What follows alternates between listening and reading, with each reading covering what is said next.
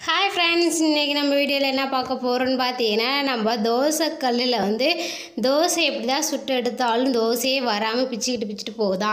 அதை வந்து எப்படி நம்ம சரி பண்ணலாம் அப்படின்னு தான் வீடியோ. வீடியோ வந்து ஸ்கிப் பண்ணாமல் முழுசாக பாருங்கள் நம்ம சேனல் இதில் நீங்கள் சப்ஸ்கிரைப் பண்ணலாம் சப்ஸ்கிரைப் பண்ணிக்க வாங்க வீடியோக்குள்ளே போயிடலாம்.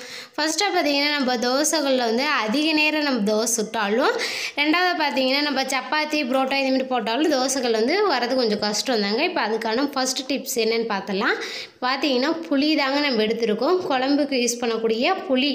இது பார்த்தீங்கன்னா லெமன் சைஸுக்கு நம்ம எடுத்திருக்கோம். இந்த புளியை வந்து ஒரு சின்ன துணியில் வந்து நம்ம ரோல் பண்ணி வச்சுக்கலாம். இந்த மாதிரி நீங்கள் ரோல் பண்ணி வச்சுக்கிங்க. ரோல் பண்ணி வச்சுக்கிட்டு நம்ம வந்து அடுப்பு ரொம்ப சிம்மில் வச்சுக்கிட்டு இதுமாரி எல்லா இடத்துலையும் நீங்கள் தேய்ச்சி விடலாங்க. இதில் எண்ணெய் தொட்டு தான் தேய்க்கணும் அப்படின்லாம் எதுவுமே இல்லை.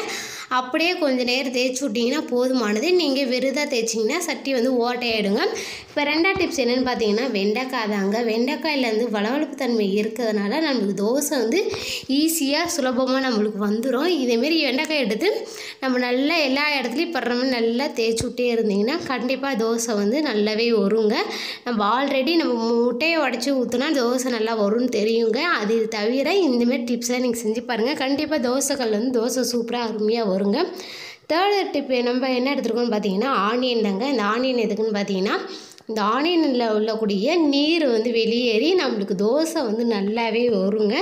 இந்த ஆனியனும் நம்ம வந்து அடுப்பு வந்து சிம்மில் வச்சுட்டு நல்லா வந்து நீங்கள் தேய்ச்சி விட்டிங்கன்னா எல்லா இடத்துலையும் படுற மாதிரி நல்லா தேய்ச்சி விட்டிங்கன்னா நம்மளுக்கு வந்து தோசை வந்து வெள்ளையாகவும் வரும்.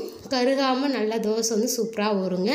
இந்த டிப்ஸ் பிடிச்சிருந்தா நீங்கள் யூஸ் பண்ணி பாருங்கள் ஃபாலோ பண்ணி பாருங்கள் அடுத்ததாக பார்த்தீங்கன்னா விளக்க எண்ணெய் தாங்க நம்ம போடுறோம். விளக்க எண்ணெய் வந்து அதுவும் வளவளப்பு தன்மை இருக்கிறதுனால நம்ம தோசை வந்து சூப்பராக வந்துருங்க. விளக்கெண்ணெயை ஊற்றிக்கிட்டு நம்ம வெங்காயத்தை தாங்க வச்சு தேய்க்கிறோம். விளக்கெண்ணையும் வெங்காயம் தேய்ச்சிங்கன்னா சூப்பராக தோசைகள் வந்து ரெடி ஆகிடும் நம்ம தோசையும் சூப்பராக ரெடி ஆகிடுங்க இப்போ அஞ்சாவது டிப்ஸ் தாங்க ரொம்பவே சூப்பரான டிப்ஸ் இது. என்னென்னு பார்த்தீங்கன்னா நம்ம சாப்பாடு வடிக்கக்கூடிய கஞ்சி தாங்க நம்ம எடுத்திருக்கோம்.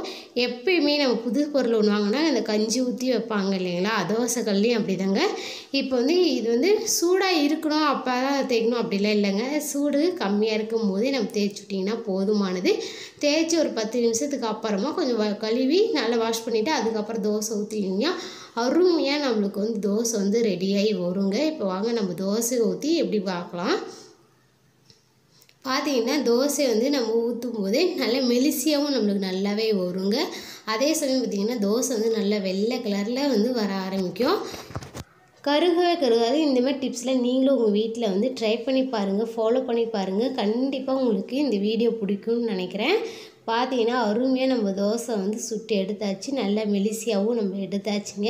இந்த டிப்ஸ் உங்களுக்கு பிடிச்சிருந்தா லைக் பண்ணுங்கள் ஷேர் பண்ணுங்கள் கமெண்ட் பண்ணுங்கள் நம்ம சேனல் இதோட நீங்கள் சப்ஸ்கிரைப் பண்ணலாம் சப்ஸ்கிரைப் பண்ணிவிட்டு கூட இல்லை பெல்லைக்கனையும் கிளிக் பண்ணிவிடுங்க அப்போ தான் நாங்கள் போடுற வீடியோ நோட்டிஃபிகேஷனாக வரும். தேங்க்யூ